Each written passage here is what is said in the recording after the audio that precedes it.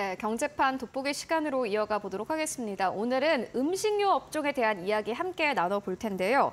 프레스티지 전략연구소의 반종미 소장 모셨습니다. 안녕하십니까? 네, 반갑습니다. 네.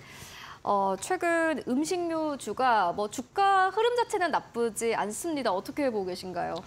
전 굉장히 좀 놀랬던 게 네. 사실 그 제가 이제 뭐 라면이나 그 군것질을 되게 잘하게 생겼지만은 사실상 되게 좋아하진 않습니다.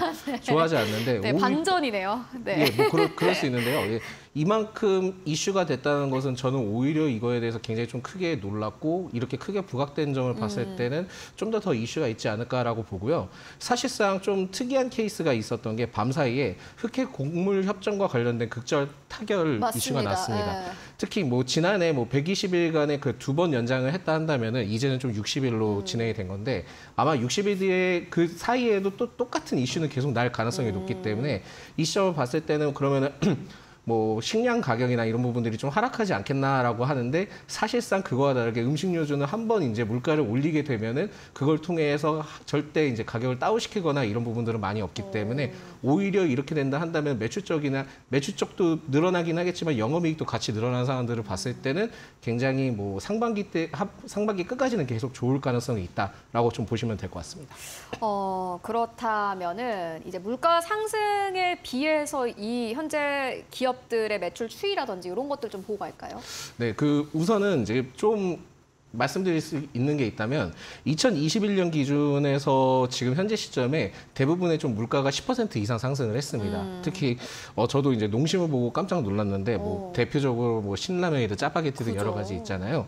그게 이제 2021년 기준에서 2022년 넘어갔을 때 시점으로 10% 이상 이제 가격이 올랐고요. 무엇보다도 이제 새우깡 관련된 그러니까 과자도 10% 이상 올랐습니다. 즉 이제 농심이 10% 이상 올렸다 한다면은 대부분의 기업들 역시 10% 이상 그 어떻게 보면은 좀 판매 가격을 올렸다라고 좀 보실 수 있을 것 같거든요. 네. 그렇다 보니까 이 부분에 대해서는 당연히 실적적인 부분들이 반영이 될 수밖에 없을 것으로 좀 판단이 되고 있고요. 또한 이제 뭐 라면 3사 등이나 뭐 오리온 같은 경우에도 해외 매출이 굉장히 좀 증가를 했습니다. 그렇다 보니까 이 시점을 봤을 때도 점차 이러한 상황들이 크게 발전이 될 가능성이 매우 높은데 결국은 OTT나 영화를 통해서 콘텐츠와 같이 좀 연계되면서 기존에 좀 많이 부각을 받았었던 것 같고 심지어 CJ 제일제당의 경우에도 K 콘텐츠와 K 푸드와의 시너지 효과를 지금 내고 있는 상황들을 봤을 때는 앞으로에 대해서 좀 많이 기대를 해볼 수 있을 것 같다라는 말씀드리겠고요. CJ 제일제당 역시 뭐 주가는 그렇게 재미는 없습니다만 네. K 스트리트 푸드를 통해서 적극적으로 알리면서 홍보 방안을 많이 늘려가고 있기 때문에 이 점을 봤을 때는 계속 어, 유행할 가능성이 높겠다라는 말씀 드리겠고요. 사실상 좀 더더 살펴보자 한다면 어, 실적적인 부분들이 매우 좋았습니다. 특히 이제 라면, 라면이 굉장히 좋았죠. 네. 그래서 좀 살펴보니까 관세청에서 1분기 라면 누적 수출액이 2억 800만 달러, 그러니까 전년 동기 대비 14.3%가 증가를 했다 합니다. 결국은 이제 간편 식사로서도 이제 한 끼에 해결할 수 있는 그 부분에 대해서 굉장히 좀 크게 부각을 받았지 않았나라고 좀 생각이 들기 때문에 네. 이 점을 봤을 때는 이제 앞으로 좀 더더 가능성이 있다라고 보여지고 있고 농심 역시 영업이익이 85.5% 증가를 했고 또한 이제 미국 법인의 이제 증가분이 굉장히 좀 늘어났는데 사실상 그 농심에 대해서는 좀 더 더 주가를 기대를 해볼 수 있는 게. 그 농심 아메리카라고 있습니다. 네. 그 미국 법인이 있는데 농심 아메리카의 그 미국 공장 그 가동률이 70% 이상입니다. 그렇다 보니까 이 시점을 봤을 때는 오히려 어 그 중국 시장보다도 지금 북미 시장 쪽에 굉장히 많이 활성화됐다라고 보시면 될 것 같고요. 사실상 그렇다 한다 하더라도 또 추가적인 모멘텀이 하나 더 있습니다. 그 중에 하나가 중국 법인에 대해서 생산 가동률이 채 50%도 안 됩니다. 그러다 보니까 이 중국에 대해서 어느 정도 이제 그 생산 가동률이 늘어난다 한다면은 농심은 좀 더 더 좋아질 수 있다는 게 포인트고요. 그 중에서 농심 주가가 제일 좋은 것 같아요. 사실 보면은 농심은 꾸준히 우상향 흐름 보여주고 있는데 삼양도 약간 좀 불안하고 오뚜기는 좀 최근에 내려왔고 그죠? 네네. 사실 그 삼양은 뭐 불닭볶음면이 이제 굉장히 좀 어, 너무 유행- 맛있죠. 예, 저는 매워서 못 먹는데 어쨌든 그걸 봤을 때 그 효과가 없는 건 아닙니다. 결국은 지금 현재 가격 인상 효과나 환율 상승에 대한 효과도 있고 해외 법인 영업 시장 확대를 굉장히 좀 추진을 하고 있기 때문에 다소 지금 주가는 아쉬운 부분들이 있기는 하지만은 어느 정도 조정을 받고 다시 올라가지 않을까라고 판단하고 있고요. 오뚜기 역시 뭐 해외 판로나 그런 부분에 대해서 굉장히 좀 뛰어나게 좀 보여주고 있기 때문에 결국은 지금 뭐 제가 이전에 말씀드렸지만 화장품도 결국은 이제 탈중국화를 해야 된다라는 그죠. 말씀드렸잖아요. 오히려 식품 쪽에서 탈중국화를 먼저 했고 이제 중국 시장을 기다리는 입장에서는 오히려 이러한 형태가 화장품주도 같이 좀 따라가야 되지 않겠나. 그래서 지금 제가 봤을 때는 오히려 그 식품 물가에 대해서는 결국은 이제 한 번 올렸기 때문에 절대 떨어지지 않는다는 점을 좀 체크를 하셔야 될 것 같고 해외 판로에 대한 수출이 굉장히 좀 활성화될 수 있기 때문에 이 시점을 봤을 때는 오히려 좀 더 더 올라갈 가능성이 있다. 다만 어 그 음식료 관련된 종목은 약간 좀 채권과 같은 주식 같은 느낌이 들기 때문에 네. 큰 폭으로 막 다이나믹하게 30% 40% 이상 상승하기에는 좀 아쉬운 부분들이 있다는 점을 좀 참고하시면 좋을 것 같습니다. 어, 근데 중요한 거는 식품주들은 사실 자동차 뭐 기업처럼 한 개를 팔아서 많이 남는 기업이 아니잖아요. 박리담의 형식이거든요, 말 그대로. 그러니까 매출이 사실 높게 잡히면은 그만큼 영업이익도 올라와야 되는데 실제로 그런가요? 네, 사실 이 여기에서 재료 그 네. 원재료에 관련된 부분들이 제일 중요한데 원재료 가격이 상승한다 한다 하더라도 사실상 그 원재료에 대한 가격에 대해서는 공개를 잘 하진 않습니다. 음. 결국은 이 지금 그 음식료와 관련된 부분들은 그 유통과 유통의 마진 구조가 많이 붙여지다 보니까 결국 소비자 정가가 많이 올라가는 거거든요. 음. 그죠. 그러다 보니까 사실상은 그 영업이익에 대해서는 그 그냥 다이렉트 공급을 하게 된다면 영업이익에 대해서는 굉장히 많이 남는데 그 그렇지 못하다 보니 다소 좀 아쉬운 부분들은 있을 거라고 보고요. 사실상 뭐 그렇게 된다 한다면 이렇게 좀 생각해 보시면 좋으실 것 같아요. 그러니까 어 일반 그냥 편의점에서 라면을 사는 거랑 그 어떻게 보면은 그 할인마트에서 라면을 사는 거랑 또 온라인에서 가격 온라인에서 라면을 사는 거랑 가격이 그렇게 큰 차이가 나진 않잖아요. 결국은 이게 유통 구조 때문에 그런 거고 사실상 마진율이 그렇게 많이 남지 않기 때문에 그런 거거든요. 그래서 앵커님이 말씀하셨던 그 부분에 대해서는 저는 어느 정도 이해가 굉장히 되고 있고 네. 그 부분들을 참고 를 했을 때는 당연히 박리담회로 많이 팔면은 그만큼 영업이익이든 매출적인 부분들은 상승은 하지만은 다이나믹하지는 못하다라는 점을 좀 생각하셨으면 좋을 것 같습니다. 오리온이 좀 대표적일 것 같은데 오리온이 뭐 대표적으로 초코파이 있을 테고 꼬북칩이 유명하죠. 네네. 근데 영업이익단은 살짝 줄었더라고요.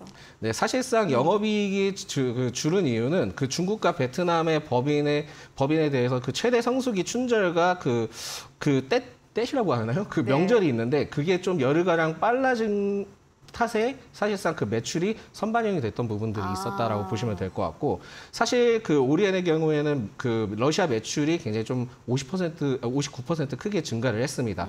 영업이익도 112% 증가를 했는데 이거에 대해서는 점차 그 계속 유지가 될 수 있을 것 같지만 추가적으로는 오리온에 대해서는 모멘텀이 있는 것이 인도에 대한 그 초코파이 생산 라인 증설과 꼬북칩 판매처를 현지 확대를 할 가능성이 있기 때문에 사실상 이 점을 포인트로 좀 보셔야 될 것 같은데 어, 그렇다 한다 하더라도 여전히 최근에 이제 주가가 많이 올랐기 때문에 좀 이 점을 좀 유의를 하시면서 접근하셔야 되지 않을까 봅니다. 네, 사실 뭐 음식료 쪽이 드라마틱한 매출의 성장이라던가 이런 거를 사실 기대를 할 수 있는 상황은 아니기 때문에 주가도 좀 천천히 봐야 하는 측면이 있을 것 같고요. 주가 전망을 그러면 하나하나 좀 해볼까요? 네, 저는 이렇게 그 네. 음식료를 디테일하게 가져올 줄 몰랐는데요. 어떻게 보다, 보다 보니까. 본인이 가지고 오셨잖아요. 네, 그렇습니다. 네. 일단 K 라면, K 라면은 계속 이슈가 될 것 같고 사실상 이게 OTT와 관련된 연계성을 봤을 때는 계속 좀 유지가 될 것 같습니다. 이게 제일 처음에 삼양식품에 대한 이야기가 나왔던 게 그 BTS의 B가 이제 서진이네 나와가지고 불닭볶음면을 먹으면서 불닭볶음면의 매출이 아마 엄청 성장할 것이다라는 기대감도 나왔고 실제로 비비고도 많은 뭐 K-팝 그룹들이 K 뭐 아이돌들이 조금 이렇게 홍보를 하면서 매출이 올라갔다 이런 이야기도 있더라고요. 네, 사실 이게 제일 중요한 포인트인데요. 네. 결국은 지금은 그 제가 보기에 순종의 시대는 좀 갔고 어떻게 보면은 좀 속된 말로 잡종의 시대라고 얘기를 하거든요. 그러니까 컨버전스라고 얘기를 하는데 네. 어. 결국은 그 하나만의 가지고의 특색을 가지고 기업이 운영하기에는 이제는 좀 다소 좀 떨어지는 음. 부분들이 있습니다. 그렇다 보니까 콘텐츠든 식품이든 뷰티든 같이 융합을 해서 콜라보를 하지 않는 이상은 아. 그렇게 쉽지는 않을 것 같거든요. 결국은 지금 K 라면 반면도 그 옹심, 농심과 오뚜기의 경우에는 해외 시장 성장에 대한 추가 상승 기대감이 아직도 충분한데 이게 결국은 그 컨텐츠와 관련된 연계가 있어서 매우 포인트가 됐을 거고 그 게다가 뭐 식량난 관련된 이슈도 나왔기 때문에 어떻게 보면은 이게 복합적으로 연계는 되지만 결국은 컨텐츠와 관련된 부분들이 부각되면서 마케팅이 됐다라고 좀 보시면 될 것 같고요. 오리온의 오리온의 경우에는 이제 뭐 꼬북칩이나 이런 부분에 대해서 인도 증설이 있기는 하지만 사실상 신규 모멘텀이 좀 더더 있어야 될 것 같습니다. 어. 아직까지는 좀 어, 대부분의 이제 오리온 하면 초코파이 이렇게 생각을 하지만은 사실 그 제과 제과 쪽에는 약간 이런 부분들이 부족하거든요. 그래서 신규 모멘텀이 있어야지만 장기적으로 좀 오래 갈 수 있을 것 같기 때문에 중장기적 관점으로 좀 아쉬울 수는 있겠고 오히려 지금 상황에 봤을 때는 SPC 3립도 눈여겨 봐야 되지 않을까 라고 말씀드립니다. 어떤 이유에서죠? 일단 워낙 안 좋았어요. 그러니까 작년에 11월에 굉장히 큰 이슈를 통해서 그죠. 주가가 많이 빠졌지 않습니까? 물론 그 이슈까지는 제가 언급을 못 드리겠지만 결국은 그 이슈에 대해서 한번 그렇게 하락을 했다가 잘 버텨주는 것은 결국 이러한 악재적인 부분들이 어느 정도 해소가 됐다라는 거거든요. 그리고 지금 SPC 3립이 전 사업 부분에 대해서 성장세가 지금 기대가 되고 있기 때문에 오히려 지금 주가적인 흐름들을 봤을 때도 이제는 조금 기대를 해볼 만하다라는 말씀드리겠고요. 그래서 좀 아쉬운 부분들이 있다면 하이트 진로. 하이트 진로. 뭐 저는 뭐, 뭐 물론 이제 뭐 술 관련된 부분들은 뭐 다소 좀 싫어하는 건 아니지만 그 하이트 진로의 경우에도 좀 어느 정도 바닥권으로 왔다라고 봅니다. 특히 이제 사실상 이 지금 관치 리스크라고 해서 이제 부각을 받긴 한데 그죠. 그 결국은 이제 정부에서도 물가 제발 올리지 말아라라고 요청을 하고 있잖아요. 주류와 관련된 이야기는 계속 나왔지만 지금 연- 어느 정도의 답보 상태로 보여집니다. 그러니까 원가를 올리지 못하고 원가는 올라가는데 이제 이익은 사실 얼마 안 남는 거 아닙니까? 네, 뭐 그렇긴 한데 사실상 이 주류와 관련된 부분에서도 결국은 유통이 문제인 거예요. 그러니까 음. 유통이 마진과 마진을 붙이다 보니까 최대 한 50% 내에서 70%까지 이제 마진이 붙는 거거든요. 그죠. 근데 사실상 원가는 그렇게 비싸진 않습니다. 그러니까 저도 이제 예전에 식품과 관련된 부분들을 했을 때 그 소주에 이제 그 주 원료를 했을 때 에탄올이 있거든요. 네. 그걸 해서 정제를 하면 소주가 되는데 소주가 되는데 사실상 그거에 대해서 원가는 그렇게 차이가 나지 않습니다. 그러다 보니까 사실 이게 그 유통 구조를 개선, 개선하지 않는 이상은 크게 효과를 보기는 어렵습니다. 결국 이 점을 좀 참고를 하셔야 될 것 같은데 이 하이트 진로에 대해서 조금 더 더 말씀드리자면은 언, 그 주류는 분명히 올릴 수밖에 없을 겁니다. 올릴 수밖에 없을 거고 매출이 이 기업이 지금 한 3.4% 증가를 했는데 영업이익이 33.4% 감소를 했거든요. 특히 이제 최근에 이제 그 맥주 캘, 캘리라고 해서 이제 출시를 했습니다. 근데 네. 거기에 굉장히 좀 공격적으로 마케팅을 했기 때문에 이 비용이 어느 정도 좀 없어진다 한다면은 주가는 다시 좀 상승할 가능성이 있지 않을까라고 보고 있습니다. 켈리 매출 잘 나오나요? 뭐 잘 나온다고 얘기는 하지만 지금 현재 시점에서 좀 지켜봐야 된다라는 말씀 드릴 수 있겠고요.